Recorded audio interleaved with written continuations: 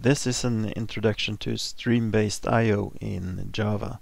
So stream-based I.O., which is located in the package uh, java.io, is the uh, original and still much used way to get data into and out of a Java program. So there are two different APIs, uh, two different stream-based APIs in the Java I.O. package. The first is the input stream output stream API, uh, which handles raw bytes.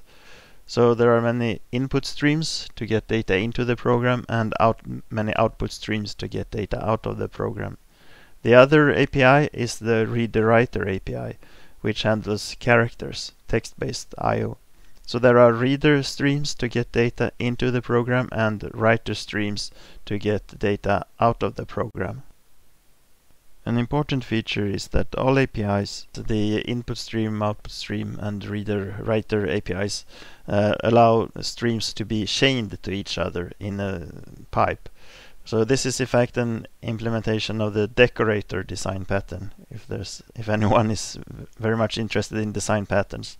So what it means is that each of the streams, so these uh, symbols are the classes of the, the, different streams, like for example, um, file input stream, buffered input stream, and so on.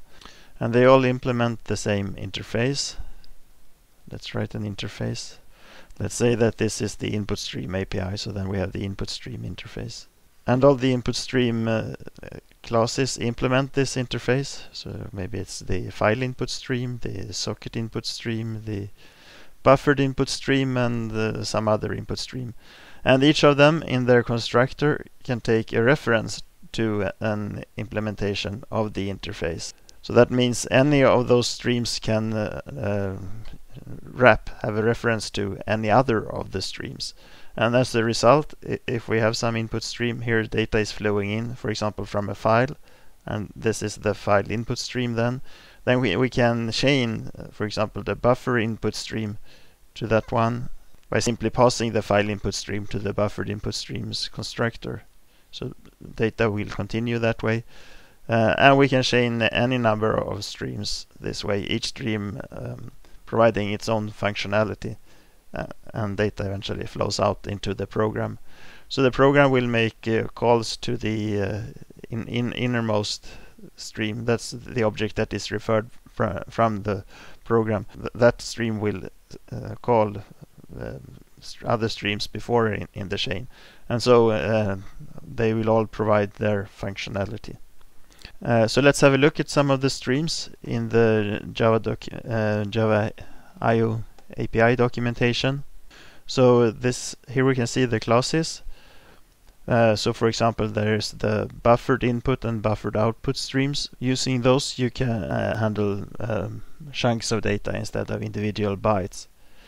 Then there is a, a, there are corresponding uh, streams for the reader writer API, buffered reader, buffered writer. So remember, reader writer is for handling text-based I/O, and input stream, output stream is for handling byte-based I/O. Uh, we have the byte array input stream and byte array output stream, which reads data to and from a byte array in memory. A corresponding reader writer set, char array reader and char array writer that handles a character array in memory. There is the data input stream and data output stream that handles uh, primitive types of data. they have methods for reading and writing ints, booleans, and, and so on. There is the file input and file output stream uh, uh, that reads to uh, bytes to or from um, a file, a corresponding reader writer set, file reader file writer that passes characters to or from the file. Yeah, and so on. There are many different uh, st uh, streams, as you can see. Uh, interesting is, for example, object input stream and object output stream that can be used to store entire object graphs. You just pass an object to object output stream and it will be uh, saved in a serialized representation. Not just that object, but uh, also objects referenced by that object. And then you can use the object input stream to get the same object back from the stream. So, uh, for example, and including all its referenced object. So you can use object output stream to send a, a plain Java object over the network, for example, uh, and then on the other um, receiving side, read it from the input stream of that mm, network connection and uh, recreate uh, the same object graph with just one method call at each end. Yes, and there are many more uh, streams as you can see. And remember, they can all be chained to each other. That is, uh, readers can be chained to readers, writers to writers, input streams to input streams, output streams to output streams. Uh, um, but there is also the um, output stream writer and input stream reader.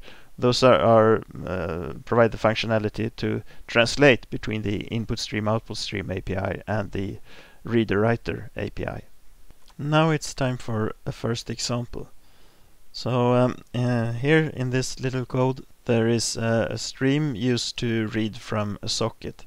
So sockets will be introduced in in uh, coming presentation. But uh, for now, uh, let's just say that the, the socket is an endpoint to, for a network connection and um, can be used to retrieve data that was uh, sent from, from over the network to this uh, program. So we call the get input stream method of the socket to get the input stream that we can use to read the data sent to this network connection. We wrap it in an input stream reader. Note that the input stream from the socket is passed here to the constructor of the input stream reader. So the input stream reader, as I said previously, translates uh, the byte-based input stream API to the character-based reader API. Then we pass that uh, stream to the constructor of the buffered reader and the buffered reader adds the functionality to read uh, to read chunks of characters, not just single characters. In particular, the buffered reader, which is stored in the variable r, has the method readLine that can be used to, to read all characters up to a new line, which is uh, very useful. So we do that, read uh, one line of characters, and uh, store the the red line in the string str and um, this readLine method will return null if there is nothing more to read. Uh, but uh, so that's the check here. Um, if there is nothing more to read uh, we quit the, the while loop. If there was something to read enter the while loop and process the data. So that's first uh, simple usage of input streams to uh, read from a socket Another interesting thing with this little program uh, is the uh, catch block here. So many of the uh, stream um, methods and constructors uh, throw uh, IO exception, which is a checked exception, mean, meaning you have to try to uh, catch it in catch blocks or declare it, declare it to be thrown. sometimes one might get tired of that, in particular since there's often nothing to do. If we get the IO exception, the program is doomed anyway. So uh, as kind of uh, facilitate programming, we can wrap the IO exception in an unchecked IO exception like this. Uh, and the unchecked IO exception is of course unchecked, meaning we don't have to declare it in throws or catch blocks uh, in, in any other methods in the call chain. That was all about the basic streams in the Java IO package. But um, before we look at a bigger and more interesting program example, let's also uh, have a brief look at file handling. So there are uh, three important classes for handling files in, uh, the JDK. The first is the Java IO file, which has been around since beginning of Java. Uh, and let's have a look in the Java doc. So Java IO file.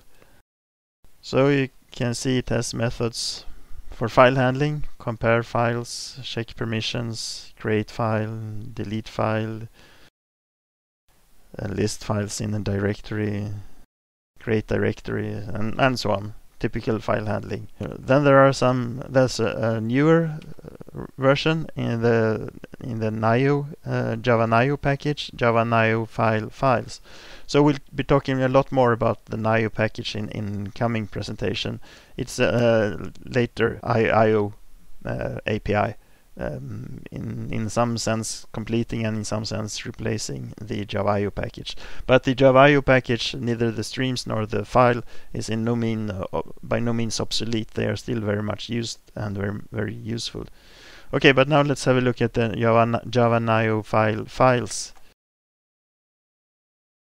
So it also uh, contains methods for uh, file handling. Generally, uh, the NIO uh, package is faster than the uh, IO package because the, the NIO package makes use of native operating system uh, functions as opposed to the Java IO, which is more pure Java.